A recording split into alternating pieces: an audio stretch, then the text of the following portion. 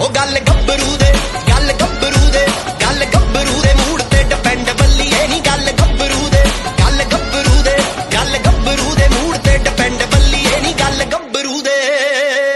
ਗੱਭਰੂ ਦੇ। ਉਹ ਮਰਜ਼ੀ ਦੇ ਮਾਲਕਿਆਂ, ਬਹੁਤੀ ਗੱਲ ਸੁਣਦੇ ਨਹੀਂ ਭੇੜ ਚਾਲ ਨੂੰ ਦੇਖ ਰਕਾਨੇ, ਚੀਜ਼ਾਂ ਨੂੰ ਚੁਣਦੇ ਨਹੀਂ ਸਾਡਾ ਹਰ ਦਿਨ ਹੁੰਦਾ ਵੀਕਐਂਡ ਬੱਲੀਏ ਨਹੀਂ ਗੱਲ ਗੱਭਰੂ ਦੇ, ਗੱਲ ਗੱਭਰੂ ਦੇ। ਗੱਲ ਗੱਭਰੂ ਦੇ ਮੂਡ